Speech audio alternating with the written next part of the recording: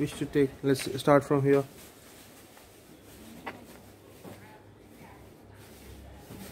Because last year already bought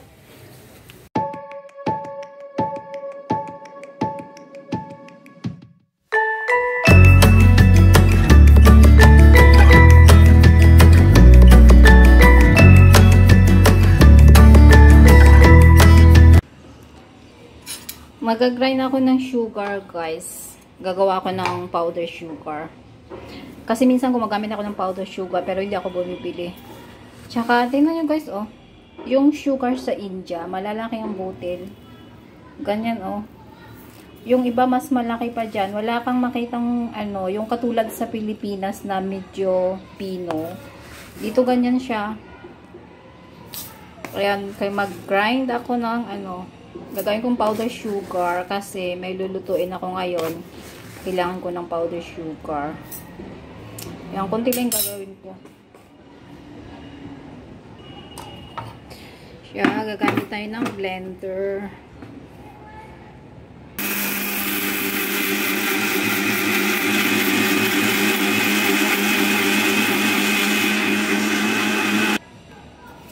Mabilis lang guys yan. Check natin ah. Yan. Powder na siya. Ang bilis. Hindi pa yata umabot ng 1 minute. Ayan oh. Okay na siya. Tapos lagay ko siya sa container. Ito yung lagayin ko ng powder sugar.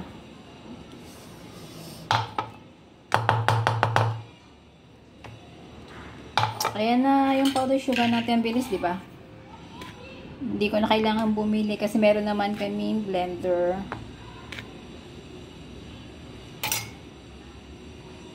Tapos ayan, ang kalat. No, she's confused. Wish to take? Let's start from here.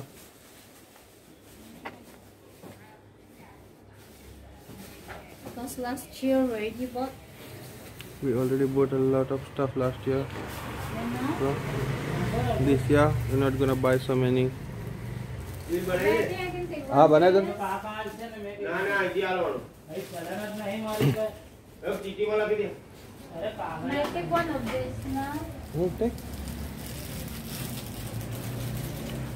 all these christmas stuffs this is all decorative stuff for the christmas tree They have many different different Christmas tree also. And then Christmas to Santa, what will you give me? Whatever you want.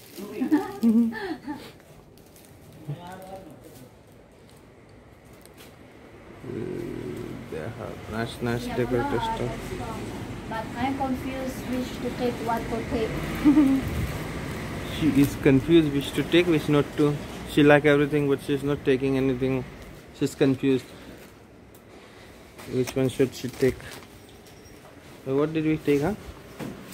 Here, we take this. Later and then we, we Unbox. show them. Yeah. Okay. It's nice, nice stuff. बना दो भाई बिल बना दो Oh, they have ribbon? Tikha bana. Uh-huh. Oh, this nice. No, no, I, I don't want this. I want the other small one. one. Yeah. Mm. So guys, Merry Christmas. In advance. In advance, not in advance. All the time, Christmas, Christmas. It doesn't matter when we wish. Yes, oh, anytime, Merry Christmas. Ho ho ho.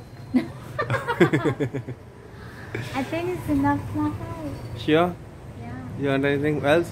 No. So sure.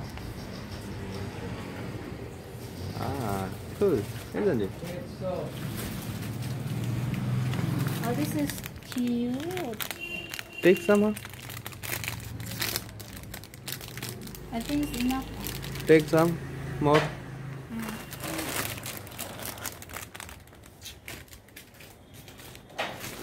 Okay, guys. This is our shopping. Later we show what we to buy. Hi guys. So andito na kami sa bahay. Kararating namin. na namili ng ng Chinese decoration. Christmas decoration. Ba't nalilito na ako? Ito pala yung nabili namin yung guys ko. Ayan. Kunti lang. Kunti pa ba to? Ito may Santa Claus kanina boots. Ayan, may socks. Kaya lang guys, hindi ko masya isa-isahin siguro kasi matatagalan tayo. Ayan. Ito, hindi ko alam. Sabi ni Mona, ilalagay daw niya sa main door. Tapos, meron kaming snowman. Dalawa yung kinuha niya snowman. Then, ito. Actually, meron na kami last year. Nagdagdag lang ako ngayon. Yan. Yung bell. Bell. Pink. Hanapan ko pa ng place. Tapos, bumili ako ng bagong star for the Christmas tree. Tapos, meron kami maliliit na Santa socks.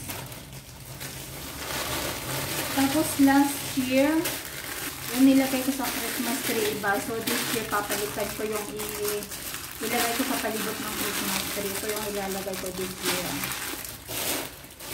Yan.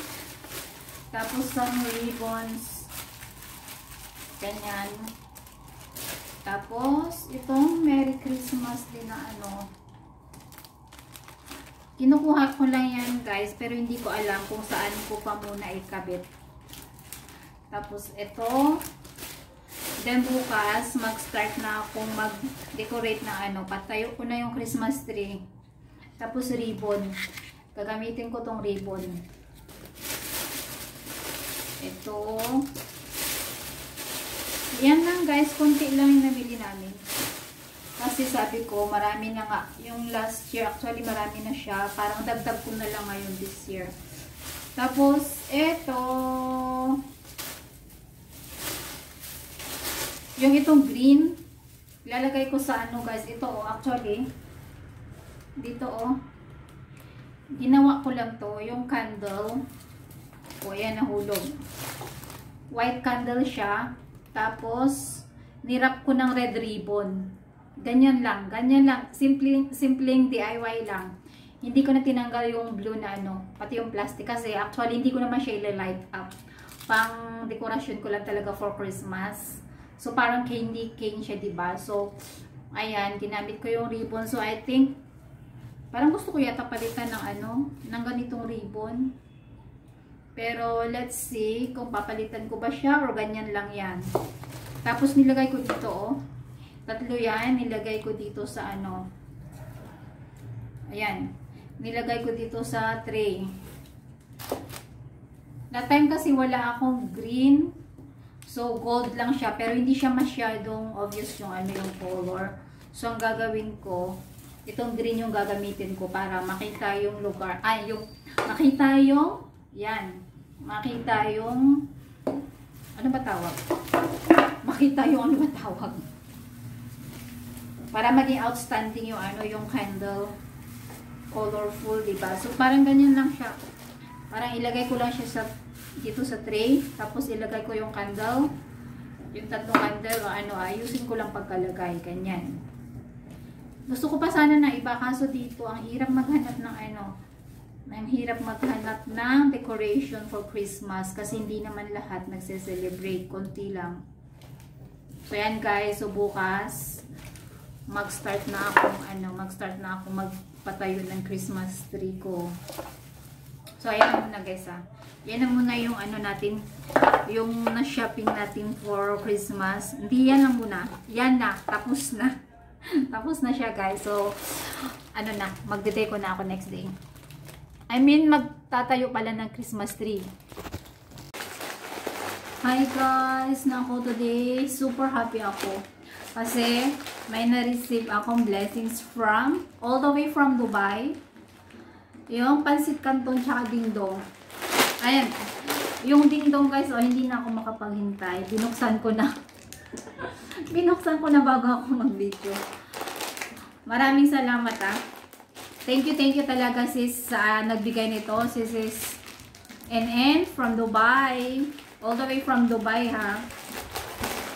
Masaya kami guys, masaya masaya kami pag nakakain kami ng noodles dito, instant noodles na from Philippines kasi dito sa India, yung noodles nila puro may spices. So, nakakasawa din yung ano, yung lasa ng spices, guys.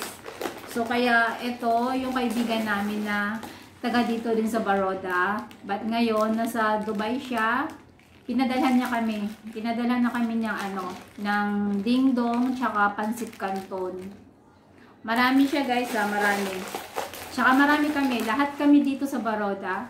Binigyan niya kami lahat. So, super salamat talaga sa kanya. Salamat sis NN ha. Tsaka kay sis Sampagita. Sis Sampagita, yung taga-pick up namin lagi. Pag may grasya, laging taga-pick up namin. Maraming salamat din sa'yo. Regards, sis NN, regards sa Kambala, kahit man hindi ko kayo na-met, mabait ka pa rin sa hindi anyway kahit hindi ko pa siya na-met guys yung nagbigay nito talagang binigyan kami lahat as in talagang ang laki ng pasalamat namin kasi matagal na kami hindi nakakain ng pansit canton tsaka dingdong so ayan ayan yung blessings natin today guys sana may magbigay pa no so, ganun so anyway talagang Thank you so much sis and, and tsaka sis Sampagita ha. Nakain ko na. So ito, kakainin ko na yung isa for my breakfast. May bread na ako. Kakainin ko siya with bread. Bago tayo mag-end ng vlog natin guys, magsa-shoutout muna tayo. Shoutout kay Brian Agihon from Navotas, Manila. At saka shoutout kay Wencelita Mystery. Salamat sa pag-support lagi ng mga upload ko kahit walang kwenta. And happy anniversary sa inyo ni Chintan Bay. Winsalita Mystery in Chintan Bay, happy anniversary. Sa amin din pala, sa amin. Sa atin, happy anniversary sa atin in advance. Thank you everyone. See you next time. God bless.